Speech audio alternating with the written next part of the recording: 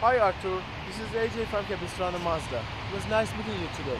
I thought I'd give you a quick sneak peek of those two nice cars that you have left behind.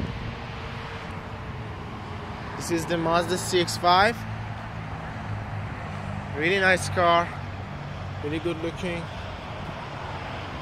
Mazda mid-size SUV. And this is the Mazda 6. This one is in beautiful Soul Red. Again, really nice car. The sedan. And since you like the wheels, I thought I'd show you a bit of the wheels on the Grand Touring as well. Give me a call to at 949-345-9839 and come grab what belongs to you. This is AJ from Capistrano Mazda and I look forward to seeing you again soon. Thank you and goodbye.